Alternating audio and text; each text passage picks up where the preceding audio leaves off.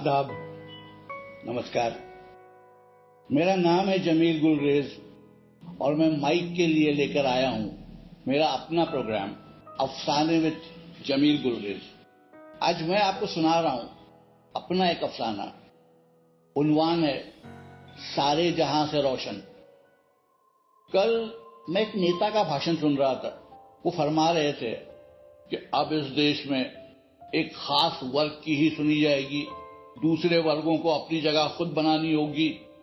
मेरा दिमाग अचानक मिस्टर और मिसेस गौरी शंकर सिंह और mister and Mrs Roshan Jahan Ashiq Hussain की तरफ़ चला गया। ये दोनों एक ही जोड़े के नाम है। शंकर सिंह का खानदान लाहौर से चला था, नवंबर 1947 में, हिंदुस्तान आने के लिए। लेकिन दिल्ली पहुँचते पहुँचते सिर्फ़ शंकर सिंह ही बचा था। रोशन जहाँ का खानदान गाजीपुर से रवाना हुआ था पाकिस्तान जाने के लिए। लेकिन दिल्ली पहुँचते पहुँचते सिर्फ़ रोशन जहाँ बची। दिल्ली में हिंदुओं के शरणार्थी कैंप में शंकर सिंह अकेले थे और मुस्लिम पना गजीनों के कैंप में रोशन जहाँ भी तन्हा।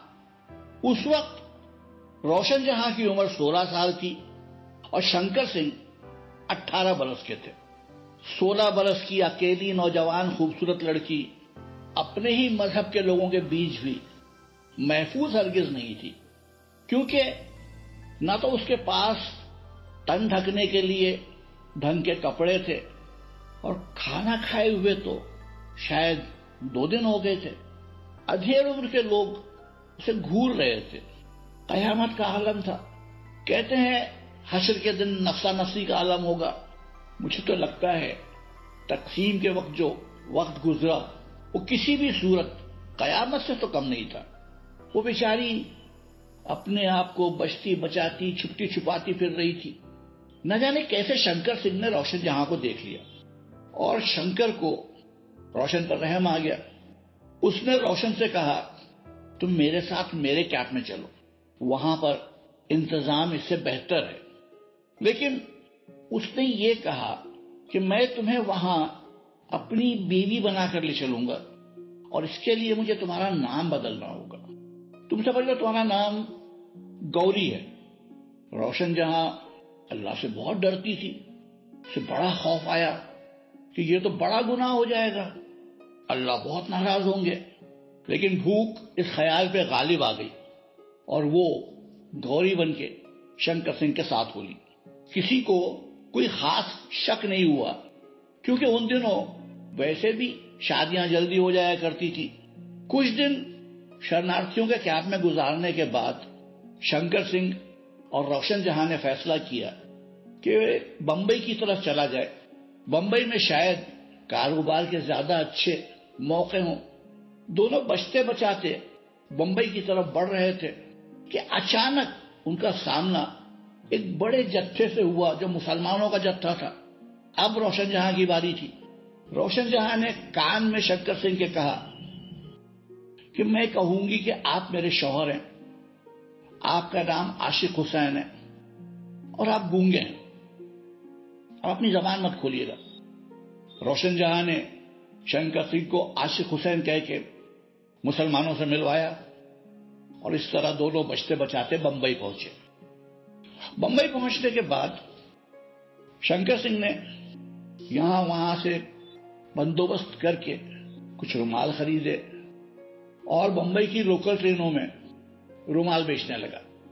रोशन जहाँ को जिस घर में खाना पकाने का काम मिला, खाना पकाने लगी, घर के काम करने का मौका मिला तरह दो पैसे कमाने लगी। शंकर सिंह, क्योंकि पाकिस्तान से आए थे इसलिए उन्हें, जहाँ और शरणार्थियों को जगह दी जा रही थी, वहाँ जगह मिल गई रहने के लिए। साथ ही एक छोटी सी दुकान भी मिल गई, जिसमें उन्होंने कपड़ों का कारोबार शुरू किया। शंकर सिंह और रोशन जहाँ दोनों अब साथ रह रहे थे, मियाँ बीवी की तरह, लेकिन दोनों ने शादी नहीं की थी। उन दोनों के लिए सवाब गुनाह, पाप, पुण्य, बड़ी मामूली चीज़ें हो गई थी। जब आप बार बार जान बचाकर पहुँचते हैं कहीं, तब गुनाह और सवाब बहुत बड़ी चीज़ें नहीं नज़र आती कहीं पर। जब उनकी पहली लड़की पैदा हुई तो उन्होंने उसका नाम रोशनी रखा, क्योंकि वो नहीं चाहते थे कि बच्चे के नाम से उसके मज़हब का पता चले। रोशनी के पैदा होते ही शंकर सिंह एक और बड़ी दुकान के मालिक हो गए। कुछ दिनों बाद एक बेटा पैदा हुआ। उसका नाम उन्होंने उजाला रखा। और उजाला की पैदाइश के साथ शंकर सिंह दो और दुकानों के मालिक हो गए। चार बरस बीते ही बीते थे कि एक और बच्ची उनके घर आई, जिसका नाम उन्होंने खुशी रखा।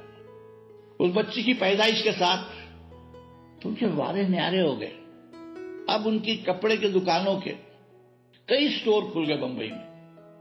दौलत की रेलपेल हो गई। वक्त गुजरता गया। बच्चे जवान हुए। पढ़ लिखकर शादी के काबिल हुए। पहली बेटी उनकी, रोशनी, को दिलीप जोशी से इश्क हो गया। शंकर सिंह और रोशन जहाँ दोनों दिलीप जोशी से मिले, उन्हें लड़का अच्छा लगा, उन्होंने शादी की इजाज़त दे दी, दिलीप जोशी के घर वाले भी अपने बेटे के जिद के सामने हार मान गए। दोनों की शादी हो गई, ना कोई मुसलमान हुआ, ना कोई हिंदू। उन दोनों भारतीयों ने कोर्ट में शादी की। कुछ दिनों बाद उजाला को एक ईसाई लड़की से लव हो गया, उनकी भी शादी हो गई। ना कोई ईसाई हुआ, ना कोई मुसलमान। सबसे छोटी बेटी खुशी को एक सिख नौजवान पसंद आया। उन दोनों की भी शादी हो गई। तीनों शादियाँ रजिस्टर्ड मैरिज थी। आज शंकर सिंह जी नब्बे साल के हैं और रोशन जहाँ अट्ठासी साल की। यानी Mr and Mrs Gauri Shankar Singh and Mr and Mrs Roshan Jahan Ashiq Hussain आज नब्बे साल के हैं और अठासी साल के हैं। उनके पोते पोतियाँ भी हैं, नवासे नवासियाँ भी हैं। उनके खानदान में, उनके परिवार में तो पूरा भारत बसता है।